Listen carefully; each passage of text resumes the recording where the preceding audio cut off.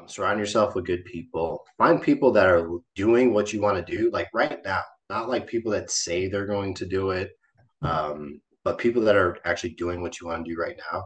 And then just listen to what they say. I mean, it's really simple, right? Listen to what they say, take the coaching, do the work, never give up, and you can have anything that you want in life. Welcome to the Land Life Podcast with your host, PJ Riley.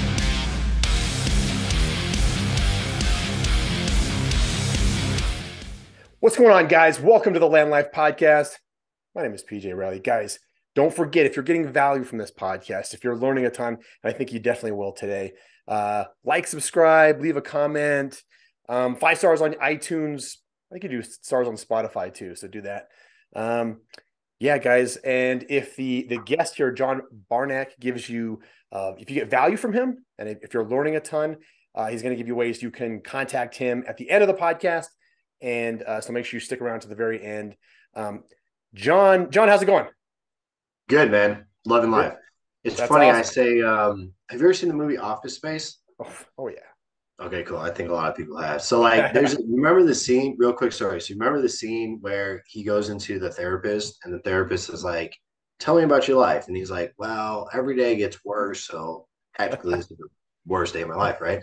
So, like, I'm the other way, right? I'm very optimistic. I'm a glass 100% full, right? There's air and water.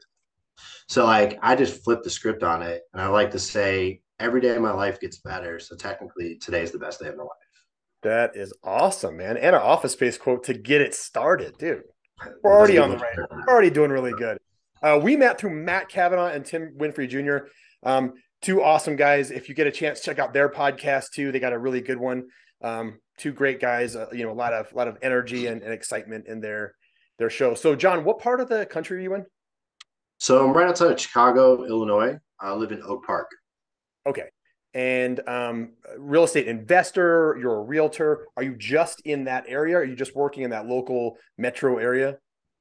Yeah, great question. So we've got mainly that you know Chicago MSA area. Uh, we've got a real estate team over uh, four or five states now. We just expanded to Milwaukee. Started doing a couple flips up there.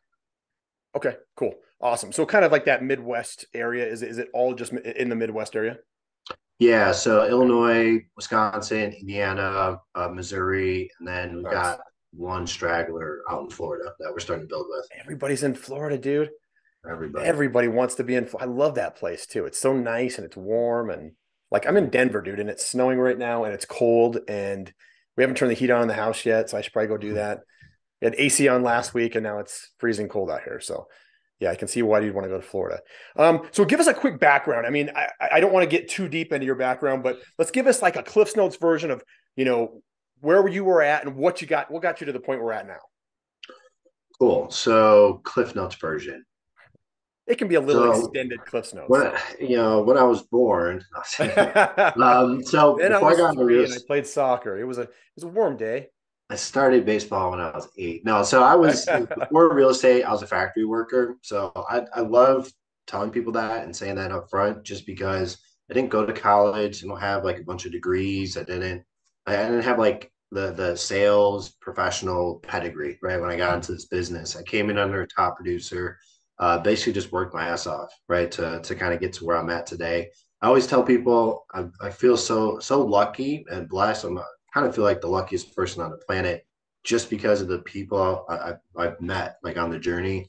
Uh, the first agent that brought me into the business, my, my first mentor, she was a top producer doing 120 transactions a year by herself, right? So she kind of got me started.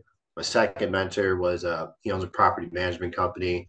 Uh, he manages about 500 doors. He owns 300 himself, right out of that. So uh, just like that, you know, getting started there and then just meeting great people over and over again. Um, I've been, um, you know, a, a, buyer's agent under a top producer. Uh, I've been on uh, my own team, right? Built my own team. Uh, been in the franchise model. Me and my partners end up starting our own firm. We were really big on the real estate investing side, and we were committed to making sure we brought that to the traditional real estate uh, model, right? You saw all the models out there. You didn't really see a lot that were encouraging or promoting that real estate investing aspect. And we felt like a lot of real estate people got into the business because they wanted to do investing, right? But there wasn't like a clear path for it. So our brokerage, when we were independent, it was uh, very investor friendly. We had in-house cash buyer, private fund that we established, and we've been growing over the years. And uh, really, we were trucking along. We were going to take over the world, right, with our model. And about a year and a half ago, uh, well, two years ago now, man, COVID. I feel like COVID was like one month that like got stretched out over like two years. I, I completely um, agree but we so over COVID, we did a bunch of reflecting. Uh, we diversified into a couple other areas to add some more streams of revenue for ourselves and for our agents. And really, we just kind of got to the point where uh, we had to eat some humble pie. You know, we swallowed our pride, and we were like, you know, our goals are too big to accomplish on our own. So we started looking for some partnerships that we could create or, or company that we could align ourselves with. Um, and we stumbled across this company called Real. They were very young less than 2,000 agents. And uh, we came aboard there, transitioned, shut down our brokerage, transitioned with them. Uh, like I said, since then, we've, we've, about doubled the size of our team. We've grown into about four or five states. Um, we're starting to move our investing business into new markets through that growth. And um, they had asked me to step up and run the state. I was really looking forward to not being a managing broker anymore. Uh, but when we were transitioning over, the managing broker that was here put in this two weeks. They're like, "Hey, John, I know you're getting out of this role, but if you don't do it, we have to kind of shut down the state for a little bit until we find someone else. So I stepped up. It was supposed to be a short term. That was a year and a half ago. Um, I just fell in love with the company, fell in love with the people. Support is amazing. Uh, like I said, right now I manage 80 or so agents across our state, uh, which was a you know about a third or a quarter of what we had before. And I feel like I do like a fraction of the work here just because of the support that we have. So, you know, managing broker, running the state. Uh, we've got a team of about 50 agents over about four or five states right now. Uh, we've got eight fix and flips going on. We've got a private fund, uh, you know, between two different markets. Uh, short-term rentals. We just I think we got five or six right now. Our goal is to add another five or six before the end of the year. Um, just a lot of plates, man. But it's that's that's the way my brain works. I'm a crazy person. I like if I'm not doing stuff. Like I just I, I feel like I'm sitting still. So I, I love having all these different things going on and uh, having my fingers in them. That's awesome. All right, so let's go back. Let's go back a yeah. little bit. This is a big story. And like if you're let's say you're the 22 year old guy that's like, wow, I want I want to do all those things. Okay, how did you how were you able no college, right? You have no experience, no nothing, and you're jumping in like, now I got this mentor, now I got this mentor. How do you meet all these guys? Where, where do you start? You know, that's a really good question. And 22 is, I don't know if you picked that age on purpose, but I, so 23 is when I went oh, full time. I, got, I, got, I got close. So right, really close, right? And I've been doing it for 10 years. I'm still a relatively young guy, but I got, I have so much more to learn, right? There, there's so much more ahead of me right now. Um, I'm only scratching the surface, right, of what's possible and, and, the things that I've learned. But um, honestly, it's going to sound kind of cliche, but luck, man. I mean, so well, there's two two ways. One, you can be lucky, and I think I started out lucky because my so it was my best friend's mom, and she actually heard me complaining about my job. She's like, "Why don't you get into real estate?" I was like, "I'm not going to go into sales." Right? I was getting a paycheck every two weeks. Yeah. I was like, "What if I don't sell a house for three months?" Right? How's that? Where do I find my clients? And she was like, "I remember this is what triggered it." She's like, "Well, if you get your license, you come work for me." She's like, last year I made three hundred thousand dollars. I was like, done, right? how do, At twenty three, or yep. How do I do that, right? How do I do that? so you know that that was just through a high school friend, right? That yeah. I just happened to be talking about my job one day, and she dropped that question on me. Uh, the next person, you know, uh, property manager dude, he was uh, actually my mom's neighbor. Uh, and, and, then my mom, when I got in real estate, just started shouting out her window, apparently.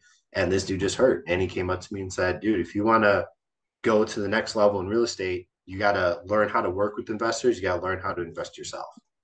Uh, I did a ton of networking early on. I was a networking machine. So uh, there's a game I used to play, uh, and I would go into a networking event with a pocket full of cards. The goal was to pass out all my cards and get more cards than I came with from other people. Nice game. Uh, every single week. I've got a whole, actually, I still have it today. I'm like one of those crazy people. I keep all like my records and stuff like that. I've got a box of cards um, that I can like I can point to and say, here's like where I built my database and built my business to. Yeah. So it was uh, a little luck. the People that like got introduced to me. Um, I believe it or not, I was not very coachable in the beginning. Um, I was not a no way. A 23 year old kid was not coachable. I, I was, dude. I was like, um, I always thought I knew better, right? I always felt like even you know I zero experience, but like yeah. the way you're doing it is stupid. I'm gonna do it better, right? I, I have no idea, right? But that's how I used to think, and it took me probably about four or five years of being broke, right, to, yeah. to give that up and be like, all right, maybe this person's been doing it for 30 years has something right valuable that they can pass out or maybe this person that's making a million dollars a year um, could teach me right how to make a hundred thousand dollars a year or five hundred thousand dollars a year whatever it is right? So it, it took me a while to kind of struggle through my own personal pains and uh, you know the lack of gains and progress uh, before i finally just like put my hand up and said all right i'm done doing it my way like how can i learn from you just tell me what to do. I remember there was a moment, uh, very defining moment. Did tons and also I've invested probably tens of thousands of dollars in coaching, personal development programs, seminars. Uh, I've got an ongoing list of books. I'm at I think 130 now uh, that I've consumed over uh, my career, and I'm always reading something new. I'm always learning something new. Um, very passionate about that. I think you have to kind of be obsessed with getting better and obsessed with learning new things uh, in order to progress yeah. um, at the rate that I did. Right. Um, the other thing is I just wasn't afraid to fail. Uh, failure is a very foreign concept to me. Uh, I don't ever see something as a failure. It's either I, I accomplish it or I, I learn from it and get better. So with that mindset, um, I wasn't afraid just to go mess a bunch of shit up right? It was just like i knew if i i knew if the more that i messed up the quicker i messed it up the faster i could learn what worked. So my goal was always just to mess everything up as fast as i could so that i could figure out how to really do things the most efficient way right in the best way. Yeah. Um, an example of that i uh, about four years ago four or five years ago i took on cold calling um, and i was like i'm gonna learn how to cold call and I picked up the phone and I had Mojo Dialer, if you're yeah. familiar with that, right? Mojo oh, yeah. Dialer. And I was blasting through calls and I was calling FSBOs and canceled and expired. And at Tom, my Tom Ferry scripts, right? Downloaded the free scripts he has and I was just blasting through those. And um, my first traction I got was with the FSBOs. So I was like, all right, cool. I'm gonna run with FSBOs, right? This is what the universe is putting in front of me, so I'm gonna go with it. And I, you know, just started working on FSBOs. Um, it took me probably about three months. So I started in February, from February to um, May, so March, April, May. So March, April, May. May was when the, the first listing that I took uh, actually closed. It took me about three months to produce a result from start to finish. Um, from cold but, calling that you had never done prior. Never done prior. I just okay. picked up the phone, started making calls. Figured it out. Figured I'm going to do it today. Started it, and it took three months to get that first sale. So if you're listening, that first, money in my pocket, right, Perfect. from doing it. And that was probably hundreds of phone calls, right, uh, dozens of appointments, and it was fun. It was a progression, right? I learned um, what to do, what not to do, how to get better. Uh, I yeah. tracked my numbers, so I knew like what my ratios were, like down to like a tenth of a percent. This is how my brain works, dude. Now, real quick, I were you in a room by yourself, or are there other people cold calling? And so you're like, oh, I heard what he said. You know, I heard what she said. Was by, like by myself? by myself, dude. So like I, I literally like right like I would shut the door. I had a sign on my door that said uh, prospecting, do not disturb. And like people, like people that. would come up and they knock on my door, and I'd like look back at them and just like go back to what I'm. I just ignore them, right? It's like, dude, focused, right on the mission. That's awesome. So I, uh, February to May, first result. From May to December, to 26 more listings that year Wow. the next year I say I, I, consistently took three to five listings a month. I think my best month was seven. Um, I took in one month. So like, and I, I tracked my numbers. I mean, 5,500 phone calls that first year from February to December. Um, had probably uh, well over a thousand conversations um, and went on uh, probably a hundred plus appointments. Uh, but it was like I just wanted the result, man. I, that, that's the only thing that mattered to me. Was like I just wanted to figure this out, and I was just willing to plow through, mess up after mess up after hang up after yell after until I just got it down. And then it just became once I got the result, it's like okay, now I can back into any results that I want. And then it was just tweaking and affecting. And like in the beginning, it was three or four hours a day. I had to like to get through and mess stuff up. Uh, by the end of it, I was taking three or four listings a month, calling one hour a day because I got, you know, efficient at it. I knew what worked, I knew what didn't work. Um, I could almost tell from the first conversation, like, okay, this person is going to list with me, and it'll probably be in two or three weeks. Right? That's that's the point I got to with that. That's cool. So so let's work that back then. So if, if you are a new person watching this, 5,500 calls per year, correct? Am I, am I my right? first year? My first, first year. year that dropped dramatically the second year because I, I got more efficient right at it and I got better at it. So that's I think a lot of people miss the gap on um you know they hear that and some people hear that 5500 calls they're like i gotta make 5500 calls like to every year to make well that's what i did the first year to figure it out yeah and really the intent was to plow through as much as i possibly could and figure it, you know, mess it up enough times that I could figure out what what doesn't work and figure out what does work. So then, like I said, the next year it was like an hour a day. Uh, I was making calls, producing the same results that it took me three or four hours to do the previous year. Yeah, yeah. So if you are a new person or even an experienced person who doesn't cold call, I don't cold call at all. So I hate it. yeah. If you wanted to get into that, if you want to add that, I guess, tool to your tool belt, I mean, maybe you can't do 5,500. Sorry, sorry, you can. Maybe 5,500 is a little bit intimidating, mm-hmm. but how many can you do today? Right? How many can you do right now, today? I mean, what is it? Noon, 1230? Let's do, let's try to get 30 in in the next, I don't know, what would be a reasonable time in the next two, three hours? Is two that hours, possible? Yeah. Let's give it a Very shot. Possible. Let's see if we can get 30. And then tomorrow, you know, start the day and try to get 35, something like that. But um, you know, it, it, I just want to see some actionable type things that somebody could do right now once they're done with this podcast, of course. You know, jump on the phone and let's see how many you can do. Right, make it a game. Try to figure it out. Let's let's knock out as many calls as you can get, and and try to catch up. That that fifty five hundred a year. Don't get me wrong, that ain't easy. That's tough. But if you can do that, or if you can even get close, um, you know, you can you can definitely up your numbers quite a bit. And I'm sorry, how many how many actual uh, conversions did you get in that first year out of those 5,500? I, I missed that. Um, it was about 20, 24, 26, somewhere, okay. somewhere in that range. And what was the return on those 26 for, for you as a, as a realtor? Um, roughly. That's a good question. Um, um, I would say probably half of them closed that same year uh, mm-hmm. that I got. So let's call it 12 or 13 uh, deals. Uh, my average commission net uh, is about five or six thousand for my market. So I mean, 50, 60,000 uh, just from that one activity stream.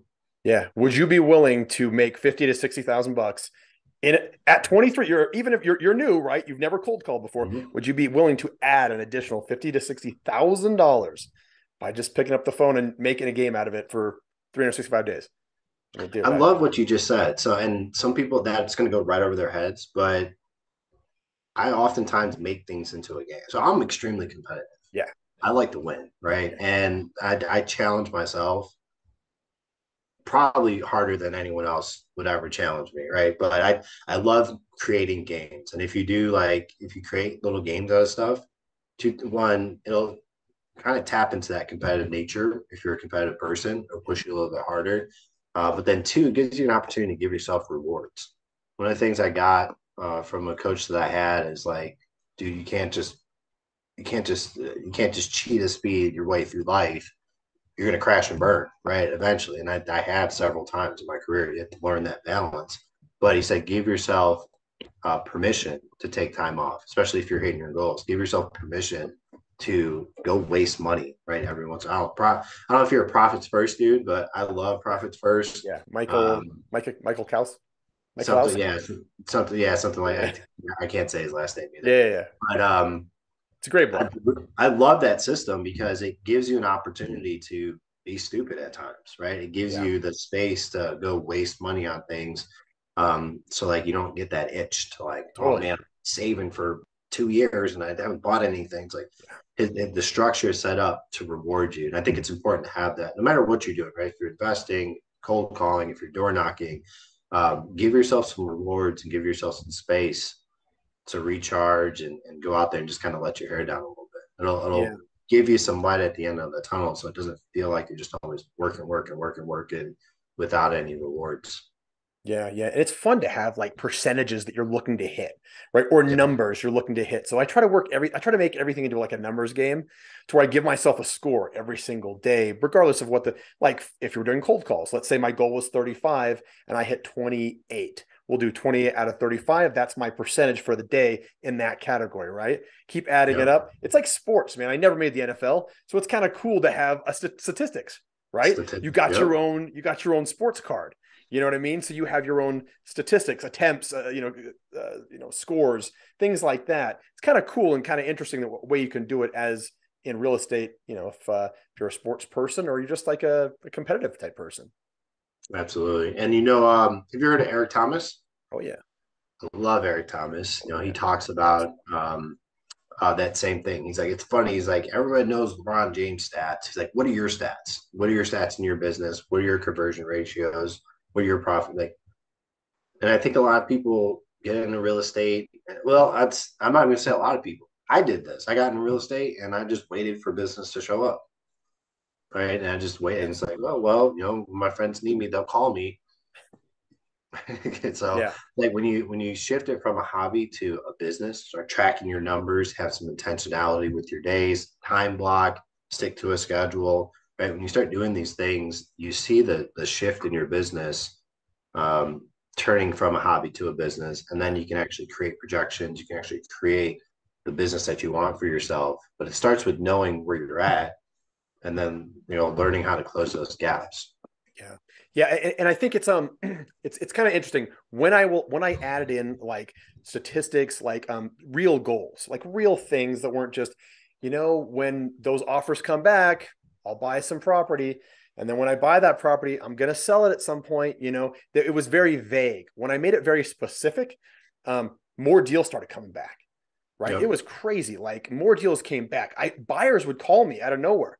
You know, maybe it was because of the increased activity I had.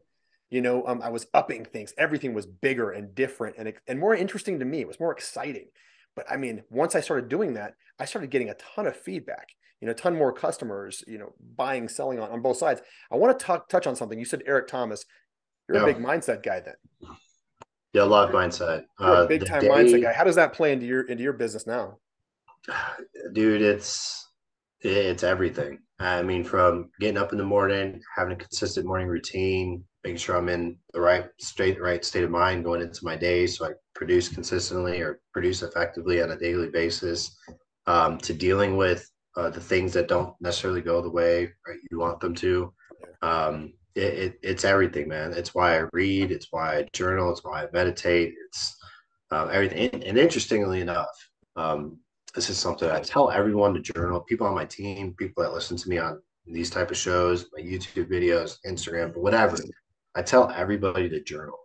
Um, to this date, everything that I've journaled and written down has come true. That's awesome. Now there's still right, and there's still things that I'm writing down. Like I have a goal to make hundred thousand dollars. Now I haven't done it yet, and I don't know when it's going to happen. yeah. But my goal was to make ten thousand dollars a month, and then I did. Then my goal was to make twenty thousand dollars in a month, and I did. Then my goal was to make fifty thousand dollars a month. Then one one month I closed a deal and I got a check for sixty five thousand dollars. Now it's like I'm writing down hundred thousand dollars a month. I don't know when it's going to happen, but here's what I do know, and this is like my belief: everything I write down comes true. So, dude, if you're not journaling on a daily basis, if you're not interacting with your goals and the things that you want in your life on a daily basis, uh, I'm huge into like vibrations. I'm huge into like things you put out into the world or what comes to you. That's why I think we found this company.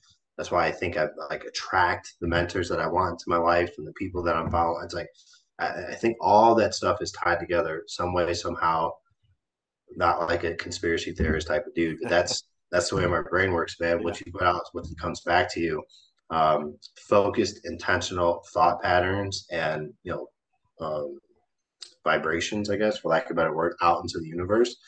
That's you know what you actually get. There's a quote I heard. It's um, nothing's ever given, only given back. Hmm.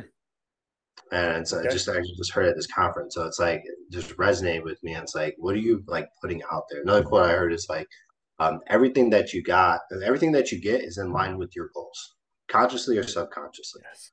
Um, and I hear people all the time like, I'm not hitting my goals. I'm like, well, what actions are you taking right in line? Are, your actions in line with what you say your goals are?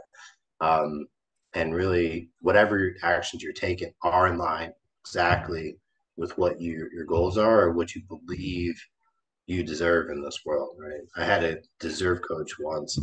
Um, I say deserve coach. It was a girl I was dating. She had a deserve coach. So a deserve coach. Wait, real quick. What is a deserve, deserve coach? coach? It's a, yeah, it's an interesting concept, right? Okay. So she like her entire um the concept around this is like we get what we feel like and believe we deserve in life right? And you know, there's people that always feel like they're getting screwed over or feel like they get, you know, they miss opportunities or things don't ever work out for them. Um, which, by the way, my favorite phrase is "everything always works out for me." And guess what? Everything always works out for me. But uh, there's people that believe that, and like the whole concept behind the deserve and the deserve level coach is um, the reason you're getting those things is because either consciously or subconsciously, that's what you feel like you deserve in this world. And their whole focus is on raising what they call it like their your deserve level. Um, and I've actually I've seen this um, I've seen this in like real life where like um, I've, I've been stuck at certain income levels right for year over year over year, uh, and then I did this work uh, and working on myself and, and, raising the belief of what I felt like I deserved in this world. Uh, and then it's amazing. Like the next year, bam, right? Uh, money goes up or income goes up.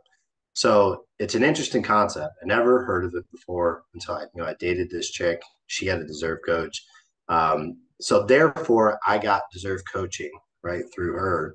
Yeah. Uh, but it's like a just a remarkable concept that stuck with me all these years. So now you said you did some of the things. What are some actionable things that you can let us know about that you did that got you to the position you're at now? So I think what's really, I mean, there's tangible, like real life, like, you know, I took this class, right? Or I read this book, or I listened to this podcast. Um, and then there's kind of like those intangible things where it's like I meditate, or I read this book, or I journal, um, stuff like that. And I think it's there's not like a one size fits all. Hey guys, here's the playbook to get everything that you want in your life. Yeah. Um, I think I can I can articulate and I can like show people. I, I mean I could I could definitely show people the exact path that I went down. I can show you the courses I took. I can tell you the seminars I went to. I can show you the I keep all my YouTube videos that I've ever watched that I love. I keep it. I got a folder on there. Um, I got a list of all the books that I read. I could give someone the same blueprint. What I can't give someone is their own effort that they're going to put into doing that type because it's it's work, right? It's it's yeah. internal, it's introspective, it's mental work to really look at yourself and look at where you're at and you have to do some anal- you have to do analysis on you know why you feel like you are where you are um, and you can't always do that on your own. Sometimes you need people, right? To yeah. objectively, you've got to be open to it. You've got to be open to receiving it. Um, you can't bring emotions to it. Someone comes to you and says, "Well, dude, you're not doing the work." Like, oh, I am doing the work. Look how busy I am, and look at all the stuff that's in my calendar, and I, you know, I do all this stuff and push all this paper around it. But you know, you you've got to I can I can show people what to do. I can tell people what to do all day. Um, the biggest thing for me was when I rose my hand and said, "All right, I'm doing this for me."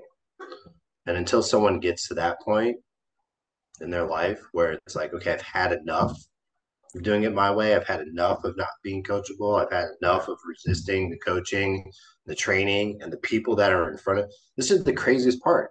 I spent years looking at people doing what I wanted to do and still telling myself that I felt like I could do it better or I could, I'm going to do it my way. Yep. Years, brother. right. Yeah. So if I could go back and say anything, it's like, dude, if you're 22, I, and I talk to 22, 23 year old kids, I'm like, dude, it's like, you're starting when I started. But if you listen to what I say, right, if you take my coaching, if you listen to my mentorship or guidance, like I'm willing to give to you because someone gave to me.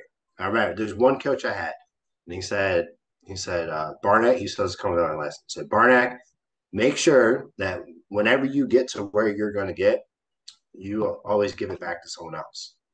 And he looked me dead in the eyes. He said, because if I didn't give it to you, you wouldn't get, you wouldn't be where you're at. Right. so like, it's always stuck with me, man. It's like, that's kind of how I was brought up was always you know, make sure that you're always lending a hand to the next person that wants to follow. Um, and I can do that all day. And I do do that every single day. We do calls with our team every day. I'm pouring into them and giving them, you know, what I got in my head. Um, I'm telling you, dude, when I can figure out how to get what's in here to, to other people where they can just like, I'm going to take over the world, brother. I tell you, yeah. I'll, I'll, figure it out. It sounds like, like, it, man. I, it's a, it's just, it's, I, I can't for I, I and then sometimes it sucks as a leader because you almost you want it more for other people than they want it for themselves. Yes. And there's there's a really fine line there where it gets exhausting, you know, trying to push someone to be successful. Um, and sometimes it hurts because you see people who have potential, you see people who have the work ethic, you got the smarts, but like you're just missing one piece, like you're not coachable or uh, you know, you're not willing to do the work on yourself. You're not willing to read a book. Say, dude, here's a book that will take you to the next level. Yeah. All right, I'll read it later. Like, all right, or, well, I can't help you till later then, right? Yeah. Um, so I mean, a lot of it hinges on the person themselves, where they're at in their life, and you know, for me, the biggest difference is when I took 100% responsibility. I went through a coaching program, and uh, I can I'll sum it up like this. Got Jim Rohn. Yeah, you know who Jim Rohn is. He says, "When you will change, everything will change for you." And I remember sitting in this. I was in this class, and like I was fighting this coaching program, and I was trying to do it my way. And I just one day I just went to my coach. I said, "Dude, I'm, I'm exhausted, bro. I am tired of doing it my way. I'm tired of beating my head against the wall." I said, you just tell me exactly what to do. And I just started taking the coaching and shot to the top of the class, uh, got so far past where we were supposed to be. I ended up coming and helping other people get to the top. Um, and I remember there was a moment where I, I said I was going to do something. And in my head, it was like already done. Like no, there was, there was no doubts. There was no reasons uh, why it couldn't get done uh, every single possible obstacle or objection that could happen. I already had a, way around or a way forward through. Um, and in that moment, I got that with 100% responsibility for my life and for where I'm at, the good, the bad, the ugly, the debt, that everything, right?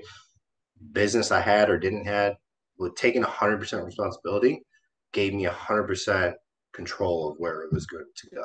Yeah. And until then, I was just kind of floating in the wind. Yeah, I, I it's really hard. I'm I'm quite a bit older than you, and um, it's hard to. I, I've discovered that it, you can't make people do something they don't want to do. Right? That's family. That's business. That's friends.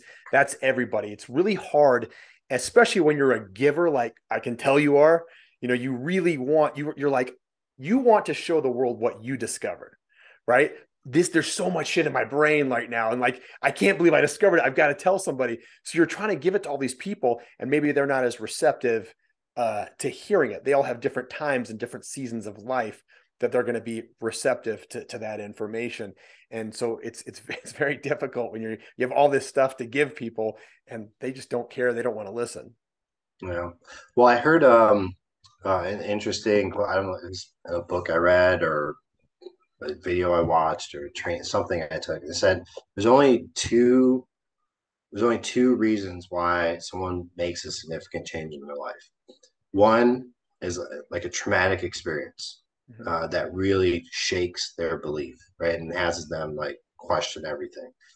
And two, the other one is time. Like you literally have to go through life.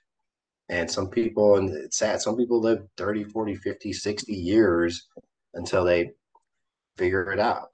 Right. And, and that's figure it out is is my perspective, right? And that's my opinion. Um, there's different levels of that, and people have their versions of figuring it out. But uh, for me, it was once I took 100% responsibility and stopped blaming. Because if you blame outside factors, how the hell can you change? Uh, that's like getting mad because it's raining, right? And then it's like, well, I could do this if it wasn't raining. Well, how the hell are you going to change that, right? If you always blame it on outside factors, you're always going to be limited on what you feel like you can potentially do.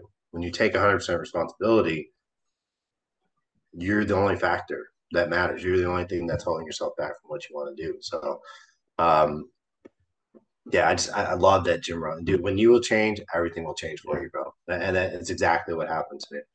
Yeah, Jim Rohn has a ton of interesting, like he's got decades of uh, videos out there. Like if you get a chance, go to YouTube and check out check this guy out. He's got, I mean, it's it's unbelievable how much knowledge and influence. The guy's influenced Tony Robbins. He's yep. basically the guy that uh, he's one of the guys that started literally everything. All the big people you hear, the book, the authors, the speakers.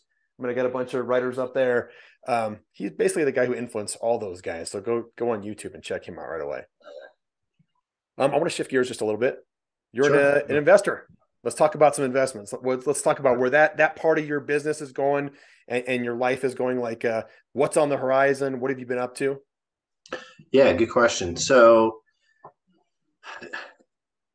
I, I, it's interesting because I've I've had a I've had uh, my personal experiences uh, with investing, and they haven't excuse me they haven't been the greatest, right? but I think that's what kind of makes it it's a learning experience. Fun, right? Fun sometimes.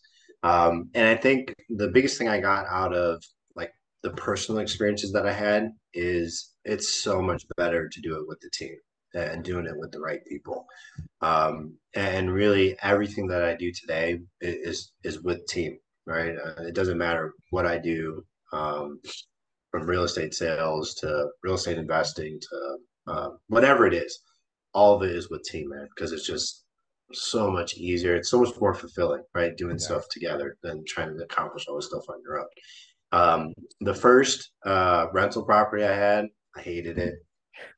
Um, okay, well, so it was like, hey, this thing broke, don't fix it. Like, all right, whatever, you know. Yeah. So go do that, and then like, and I, I was actually I was pretty lucky there. I had I only had two tenants in the time that I owned my rental property. I owned it over seven years. Um, you know, it may it grossed over like hundred and twenty thousand dollars over the time I had it in rents. Gross, gross, right? Oh, and that sounds like a lot, but then right, you got mortgage and expensive stuff. I think it was like three hundred bucks a month net cash flow or something like that. Um, so That's I had really good though. Thank you. Yeah, so I had that uh, over the years. Um, I ended up selling that. That's actually I got my sixty-four thousand dollar check uh, from that because I sold it. Um, nice and I had I bought it when it was like 70 grand. I put like 10 into it, sold it for like 150, like seventy. That's. Awesome. Um, so that was my first experience with the rental property, but I hated being landlord. Like I didn't want to, I don't don't call me for crap, right? I don't want to deal with that.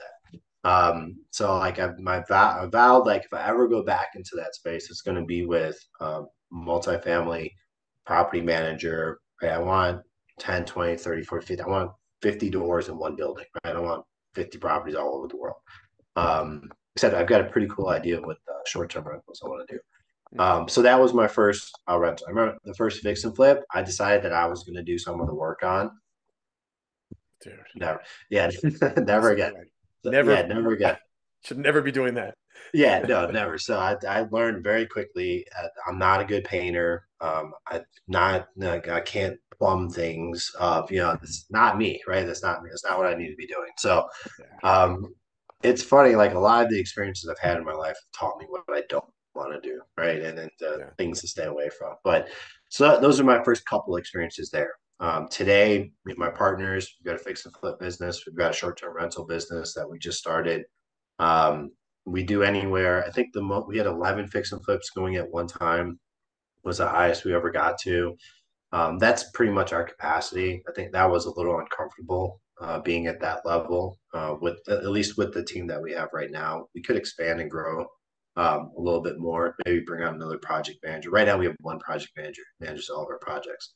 Um, but that you know, the most that we did was that one time we had. Um, we have like six or eight going on right now. It's at two in Milwaukee.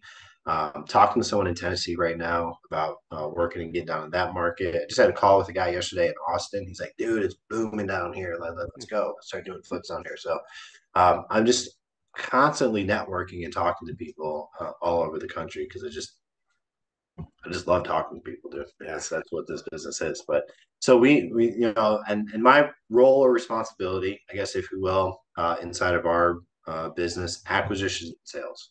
Um, so I'm out there looking for properties. I'm connecting with people who have good properties. Um, I train and develop uh, up and coming acquisition partners and people that want to work with us on that side of the business. Um, and then really main focus is selling them, right? Because no one gets paid till we sell them. So um, I'm really just the, the front end guy. Uh, I go out. I'm really good at meeting people. I'm really good at networking. I'm really good at making connections. Uh, and then I'm on the back end. Got really good at sales. Uh, you know that three or four year period, I went through cold calling and FSBOs. Got really good at nailing down ARVs, uh, nailing down markets, um, learning how to sell properties quickly. So um, I like to say everything always builds on each on itself, and everything is is for a purpose, right, in our lives. So, um, and everything I've done has gotten me to where I'm at today, put me in a position to win big, right, where I'm at now. So, um, acquisition sales. Uh, we've got uh, my other partner does all the funding, uh, which really uh, we created a private fund. Uh, we were, you know, when we were doing three or four deals a year, very early on, uh, it was easy to raise private capital, and we had a list of people. And we'd find a deal and be like, "Hey, dude, got a deal. We need 250 for this one. What do you want to contribute to it?" And you know, we'd write notes for each person, you know, LLC and people, right? So all that crap. Um, when we started scaling up, you know, you go from three or four a year to three or four at a time, and then five or six. You know, raising capital turned into a full time job uh, that we just weren't very good at, quite frankly, and we didn't really want to do. So we partnered up with a third party. Uh, we found a guy who uh, had started, I think, five or six real estate funds before us. We said, "Hey, here's what we're doing. Here's the private capital that we have that works individually can you help us out? He said, absolutely. So he, we built and created our, a fund for us. Uh, we just had all of our private guys put our money there. Uh, so then that way it's a lot easier for us to use it. Their risk gets spread over all of our deals versus now getting put into one deal at a time. Um, and what that's actually allowed us to do, um, you know, consequently, is now it's a lot easier for us to even raise capital because uh, now we can go out and say, hey, um, you know, you don't have to partner with us on one deal, you partner with us on all of our deals. Put your money here. It's in a safe, secure place. It's all SEC regulated. That guy made sure all that stuff. Um, uh, so we're growing that. I think right now we're about five and a half million um, allocated at any given time, um, but we're looking at people, you know, anywhere from a hundred thousand to you know ten million uh, people that want to put money into that. So as that continues to grow, obviously our reach and then our capacity to take on more continues to grow. Um, but he manages all of that. He coordinates with our fund manager. Uh, he double checks everything, crosses all the T's, dots all the I's. Um, he's like the last line defense, and he's a perfect person for it because he is analytical to death, like to the point where I want to strangle him sometimes, right? Because he like asks so many questions, and he like he's got to double check and triple check numbers um, but that's like the person you want there yeah. before you start spending hundreds of thousands of dollars, right? So he he fits well into that role. I fit well into my role, and then our other partner is the project manager, and then he coordinates with all the GCs. Um, so I find it, get on a contract, coordinate with our GC guy, uh, project manager, confirm our bids. Um, once everything's confirmed, that package goes over to our uh, Jeff, who does like all our funding and coordinates with the fund. We get it funded. Project manager runs with it. As soon as we're about a week or two out, he comes back to me, and says, "Hey, this project's getting ready to go on the market." I start getting the marketing ready, uh, and then pop that bad boy back on the on, on the on the MLS. Right, we use the we leverage the tools we got here. So yeah. um, that's kind of at a very high level. Yeah. Um, and I, I I tried to stay high, but also give some details too, right? So Yeah. you can understand the the structure of the team. Uh, I think it's important, man, to have a team, and, and I know a lot of successful people that do it on their own, and that's cool. I like doing what I'm really good at, and I like having other people that I know are good at their jobs around me that I can rely on and count on, and then that allows me to kind of go full speed where I'm at. And then knowing that the rest of the process will get taken care of, I'm going to get a good product in the back end, get it sold. Um, it's a pretty cool little machine that. And yeah, then, it sounds like it. and then I'll just the last thing I'll add is just um, we just expanded into short term rentals uh, this year. I know that market is booming right now. Yeah. Um, it took us probably about a month to get our systems in place and get our first one online. Is August? I want to say July or August. Uh, we got our first one. Uh, I think we have three more now running. Like I said, our goal by the end of the year is to get like another three or four going. I think it was ten uh, in our first year. We wanted ten running by the end of the year. And you Um, started in August, right? our first one was up and operational in August. So okay. You want 10 before December. end of the year, yeah. So we've got and a lot of it, and what I'm starting to to learn in the short term rental space, a lot of it is like uh, planting seeds, getting in front of the right people, uh, right the right landlord. We so for example in Aurora, it's a second largest city here uh, in Illinois. Uh, we get in contact with some developers that are um, doing some projects downtown. Excuse me, downtown Aurora, um, and they got a 30 unit building coming up. So we were able to talk to them about being a professional tenant. Mm, That's what we call it. And then um, they offered us 10% of their building. So three, they're going to give us three out of a, a brand new building that's getting put up in Aurora. Um, and they said if that goes well, they have plans to develop another 90 units downtown Aurora. So, like, you know, you, you plant the seed, you have a good conversation, you come in, you execute. Um, you know, that one connection starts us off with three, but could eventually lead to 12, right? In in that in that one area there. And then landlords other landlords. Um, what I'm learning is it's it's a snowball type of business, right?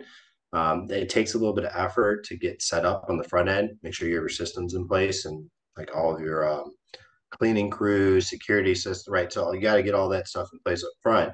Once you get the systems in place, uh, then it's just networking, building the relationships. Um, and if you do a good job, you execute well, then you obviously just more of it continues to to come your way. Yeah. So that's really interesting. So I, I want to go a little bit, you know, rewind just a minute here. So you Yeah. said there's there's a new building in Aurora, right? 30, 30 units, you said? 30 units, yeah. So 30 units, redeveloped. and you're getting right? three. Yeah. Redeveloped, yeah, redeveloped. It was a old crappy building. I don't know what I don't know what it was before. Office building, Okay. maybe. They're redeveloping it into apartments. And yeah, we talked to the developers. Uh, they're giving us three. Okay. So you're getting three. So I've never heard this in Airbnbs or, or in short term rentals at all. So is this the idea you were talking about earlier? You, you have this like a newer idea referencing Airbnb? Um, no, no, that's not. Uh, Okay, so then hold on to that thought. Hold on to that because I want to get into that too if you, if you want to talk about it. But this is really interesting. So new development comes in. Hey, I just want three of those units, and I'm going to turn those into Airbnbs. Mhm. That's super interesting. I, I I- I've never heard of that. I mean, maybe it's a thing, but I've never heard of that. So if you are so basically you're you're you're putting it's basically like a giant hotel, and you're getting three of the rooms. Yep. That's amazing. That's amazing. And and it's all under your name. You are the owner of those three units. Um, it's basically like buying three separate homes just inside of this building. So here's well, so here's the the really cool thing, and this is what I love about the actual the like the short term rental model. Um, we actually don't own those, so we've got a master lease in place. We guarantee the rent for them. Uh, we manage the the property as if it was our own, right? Because we want to have a good image out there on the platforms. We want to make sure guests have a good experience. Take care of like little things. So in reality, you know, a professional tenant, short term rental tenant, is going to add more value to um, uh, to a building or to a property than like a traditional rental would, right? Because a traditional renter is going to go in there, they're going to live there, they're going to use it up, and then they're going to leave, right? Uh, what we're going to do, we're going to go there, we're going to guarantee the rent. We try to do two year leases, make it a little bit more attractive. We'll guarantee the rent for two years, and then we want to maintain that property and keep it up. So then that way our guests always have a good experience. So we're actually keeping the property up for the landlord. We're guaranteeing the rent. Um, we're going to add additional security measures to it. So we have sound monitors in there, so people don't come in at parties. We've got ring doorbells so that if they say there's two guests and four people show up, right, we can nip that in the butt right away. So I mean, there's there's a lot of advantages for landlords to work with people like us, professional tenants, and people who actually know how to run a good short-term rental business. And it's really it's just it's just our being able to articulate that value, show that value on paper. Um, is basically what got us in the door there. And like I said, that one opportunity there could lead to us, uh, you know, having 12 units uh, in that downtown Aurora area um, for short-term rentals. Yeah, it works for everybody. So it works for you because you're able to have three units without buying them, yep. right? You're just renting them, and then yep. you are, I guess, subleasing them to the the Airbnb yep. the, the customer. And this person who owns this 30 unit building has three guaranteed returns every month of their 30. Yep. It's a win-win. Absolutely. Now it's got to be kind of difficult though. What was that conversation like with the owner? I mean, I, have I've heard about this. I guess I have heard about this in like the like a, a single structure, like a one like a single family home. Like you mm-hmm. know, I rent it out and then I Airbnb that, but I've never heard of it like in a building like this. What was that conversation like with this guy that that's the the owner of this building? Yeah, great question. And I don't know. I wasn't there for that conversation. My my partner had it, but here's I can give you the feedback he gave me. Um, and these are his words, not mine. Uh, they grilled his ass for 45 minutes. I bet. Uh, question after question after question after question. What about this? What about this? What about that? Um, we've got a, a coach uh, that we've hired uh, who works with us on the short term rental side. He has uh, over a thousand units worldwide. Um, so he gave us like the verbiage, the language, the structure, like the systems that he uses to scale that he uses to scale his business to that level. Um, so we again, you, you, know, you surround yourself with the right people. You find the people that are doing what you want to do, and you follow them. Um, it's just That's another super cool example of that. Yep. I just want to do because I I want the get the people that listen to this to be able to surround themselves with those same type of people. What is this guy's name? The the the coach you were talking about. Jay Massey. Oh, Jay Massey. Of course, Jay Massey. Yep. I know who Jay Massey is. Awesome. Everyone, everyone knows who Jay Massey is. Everybody is. knows who Jay Massey is. um, yeah, we hired him as a coach, man. I mean, we saw him. He executes at the highest level in the field that we want to get into. And we said, hey, dude, what's it take for you to coach us? And we yeah. just hired him. Great. Okay. Awesome. Now, sorry, that was my own selfish questions that I was like, what? I want to do this. This is awesome. So, okay. Yeah, you're good. Next step, uh, you said there was a a, a, an Airbnb strategy we're thinking about. Did you want to talk about that? So it's and it's not like revolutionary, right? I mean, it's just um, get a house on the moon. It's I mean, maybe someday, right? Uh, go live with Elon up there. Um, right. But so I, um, it's just more of a personal thing uh, that I want to do, uh, and I want to have uh, short-term rentals in different parts of the world, uh, so that I can go pretty much anywhere I want anytime. Like so, if I had one here, there, and there, and there, um, I could just turn one off, go live in another part of the world, right? Uh, for yeah. however long I want. So it's not like this is going to revolutionize, right? The Airbnb. It's like I'm sure there's people already doing it. It's just a personal goal of mine, something that you know, journal, right? It's a, it's on my bucket list. Own short-term rentals in different parts of the world, so I can just go wherever I want, whenever I want, and I always have a place to live there. Yeah, that's super cool. I, uh, I, that's a great idea. Both my wife and I talk about that too. Um, which is what a cool idea to be able to go anywhere you want, bring the family, um, and and just go vacation, but live there and work there too while you're quote unquote vacationing. Yeah. Well, it's really cool is like if you build it correctly, they should all pay for themselves, right? Yeah. So like the the cash flow and the income coming from, like I'll just use five for an example. So if I have five, uh, and I'm living at one, the other four should cover my so I should essentially be able to live for free wherever I want to go. Yeah. Yeah. Buy right, guys. Buy right. Do not yep. buy based on emotion. Um, buy correctly and you'll you'll always get that return that you always wanted. Um, all right, uh, John. I, I, I, it's we're at our hour. I, I know you're a super busy guy. Um, anything we're missing? Anything you want to leave us with? You know, I've so I'm starting to do more and more of these and I'm I, I love them, dude. So here's I learned from a coach of mine. He said, if you if you don't have an audience, borrow other people's audiences, right, uh, to share your message, or you know, this is this is part of me like working to get what's in my head out to more people, right? And I'm just I'm I'm extremely grateful and thankful of you, right, for giving me the opportunity to come here share, um, you know, spew some of the gunk out of my head onto your show and into your listeners' ears. I hope it adds value. Um, like I said, that's that's always my intention, right? How can I help? How can I add value? So, um, you know, I, I don't. Oh, I, I you, you would think like I would have like a sign off by now, yeah. right? Or something I could just say. super cool, and people are like, "Damn, like I got to go follow this dude." But that's what you know, says at the end of every podcast. I'm just, so you know, cool. here, here's what I'll leave it with, man. I'm just, I'm just the dude.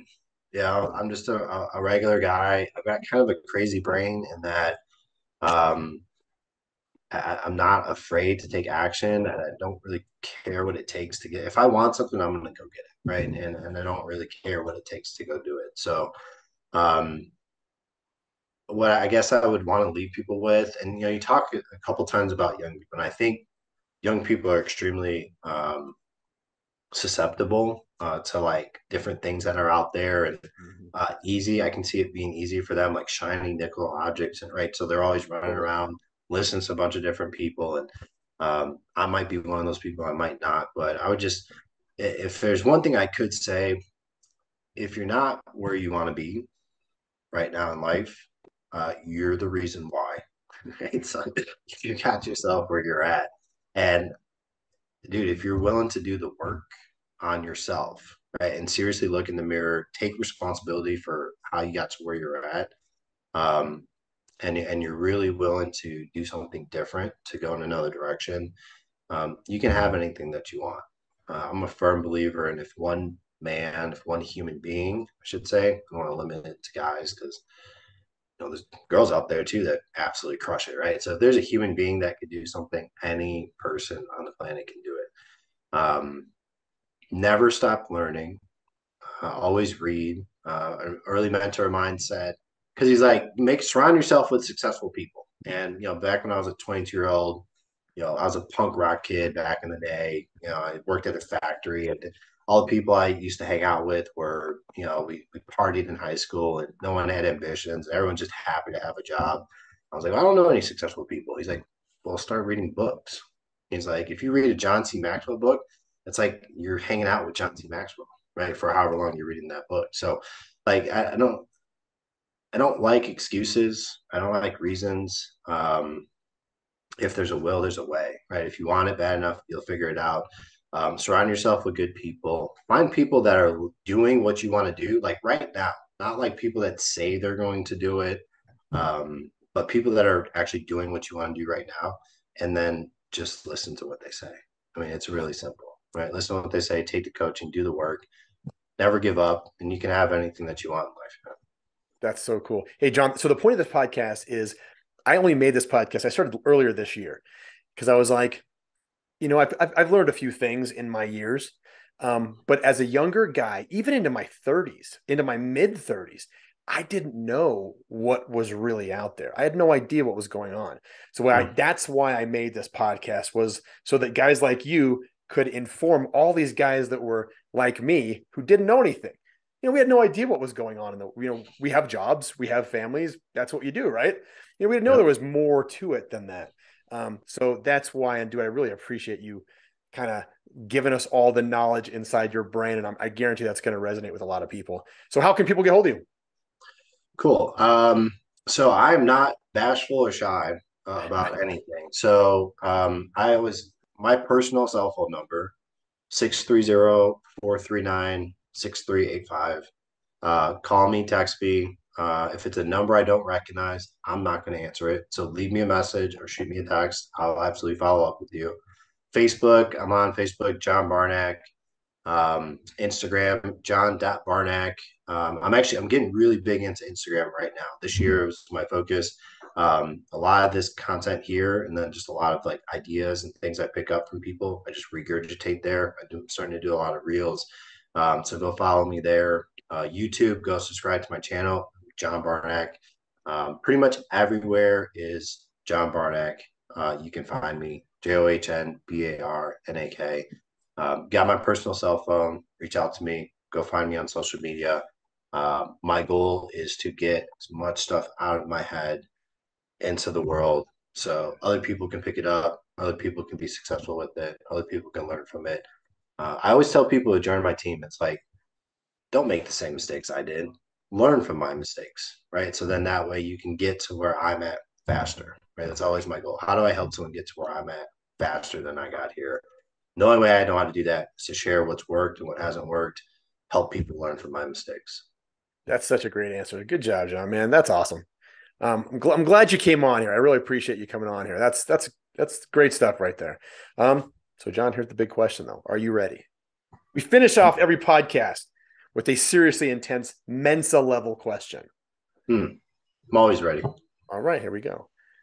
We are land life. I buy and sell dirt all over the country, right? I buy and sell land, land, dirt, and trees. If you could buy land anywhere in the world, where would it be and why?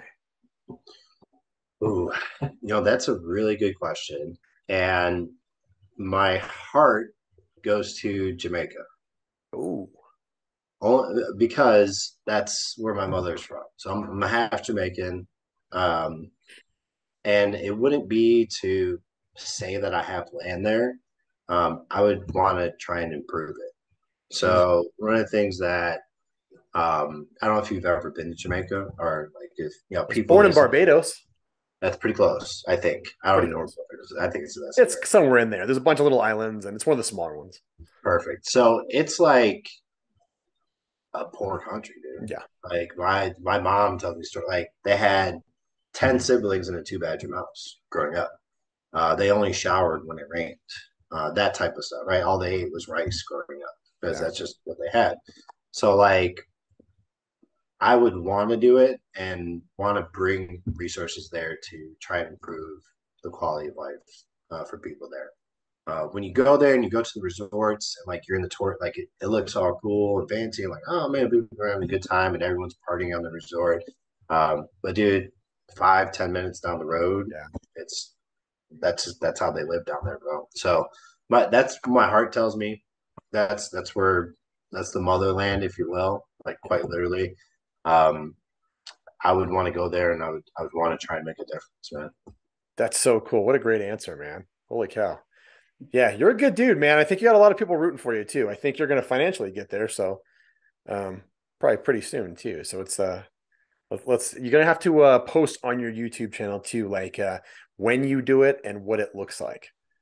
You know what the improvements look like, or what what types of things you make. Maybe like a uh, like a video series when you do it you know, uh, mm. what it looks like so that everybody else can kind of see and see how cool that is. I, I appreciate that. And I appreciate the kind words, man. Like I said, I just, I, I just, I sometimes I feel like the luckiest person in the world, dude. I just, yeah. so many great people um, have been willing to contribute to me and who I am today. Um, it would be selfish of me not to give back in some way or form, man. Yeah, yeah, that's really cool. Thank you so much, John. Appreciate it, man. Thank you. All right, guys. Yeah. All right, guys. Thank you so much. Until next time, uh, I'll see you on Land Life.